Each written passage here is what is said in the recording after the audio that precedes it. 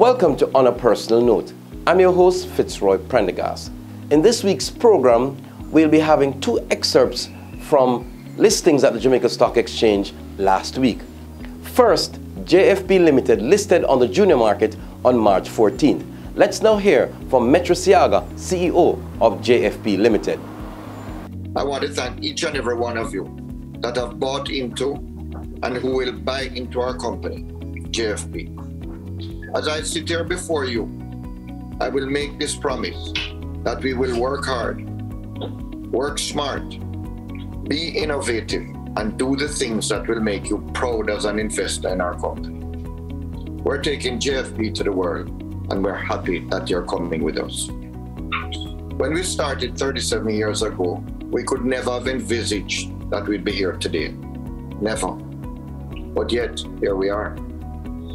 This shows that creativity, hard work, tenacity, focus, and prayer can do things that you can only dream of. So let me use this opportunity to say to all of the small and micro companies out there don't give up. Fight when things get tough. And you too can reach to heights that you never thought you could. A day later, Edufocal Jamaica Limited listed on the junior market. Let's now hear from co-founder and CEO of Edufocal Jamaica Limited, Gordon Swaby. I'm an adult in a spaceship with 2,000 other shareholders, excited about the prospect of even more growth and major milestones. I want to thank God, my wife Kenisha, for her unending support, especially for standing by an entrepreneur who was scaling in a pandemic, for being my intellectual sounding board, editor, ranch receiver, chef. She's the reason I got fat.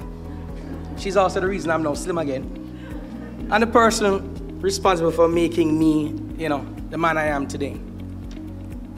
I want to thank my son Alexander for reminding me why I do what I do. I want to thank my parents for being my number one entrepreneurial inspiration and acting as real world examples of what hard work, diligence, and integrity can result in.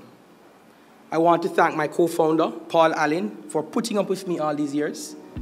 Uh, I want to thank my brothers for their support, my friends.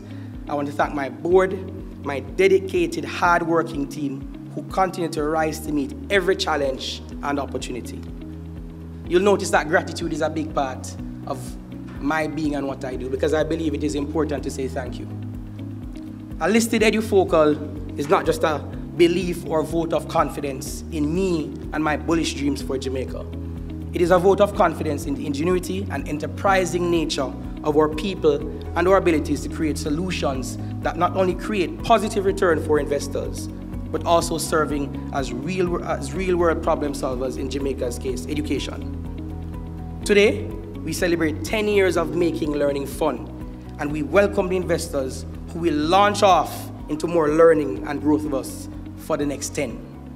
We will continue to keep our heads down and remain focused on creating shareholder and stakeholder value.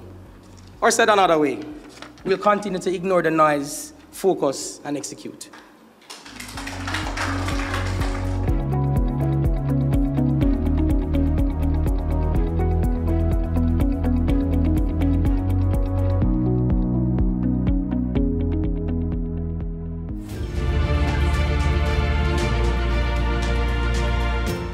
That's it for On a Personal Note this week. Join us next week for another very interesting program.